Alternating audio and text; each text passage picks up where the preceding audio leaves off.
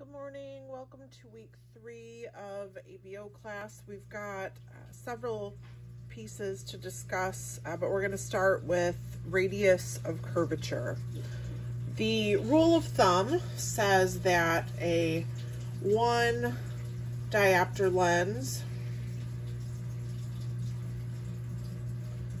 has the radius of curvature of 530 millimeters.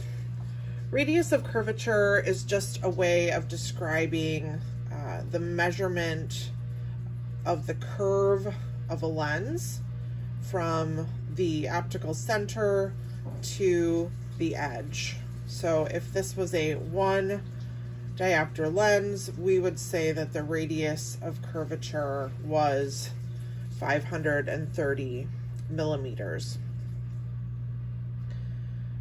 the formula to determine uh, radius of curvature is the standard of 530. So 530 divided by power equals the radius. If we were to, let's say, use a 5 diopter lens as our example, so 530 divided by 5 equals, let's grab our calculator. So 530 divided by 5 equals 106. So we would say that the radius of curvature of a 5 diopter lens is 106 millimeters. In turn, if they asked us to determine the power of a lens, um, given the radius of curvature, uh, we can apply that same formula and we can say 530 divided by the radius of 106. And if we plug that into our calculator, so 530 divided by 106 equals 5. So we've been able to work this equation in both directions. So the radius of curvature of a one diopter lens is 530 millimeters. 530 then becomes our rule for the equation to determine either the power of a lens or the radius of curvature. Now, in addition to the equation, uh, one of the other important pieces uh, regarding radius of curvature is that um, as the radius increases or decreases, it actually changes uh, the power of the lens. So if the radius of curvature is longer, let's say in a lens that has a larger diameter, so we're starting with, let's say, a larger blank size. And the measurement from the center to the outside edge is longer. It will actually um, decrease the power of the lens. So if this was still 530, but the length of measurement was longer because we were using a larger blank, it would actually decrease the power of the lens. It would also mean that we were looking at a flatter curve.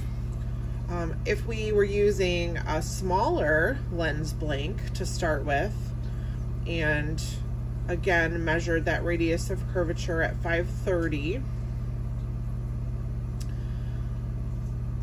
but that uh, distance had decreased, it would actually create more power. So an increase in power as the size um, of the blank decreases. So a decrease in power for our larger lens and an increase in power for our smaller lens. Uh, let's take a look at like a profile view. I think this might help a little bit.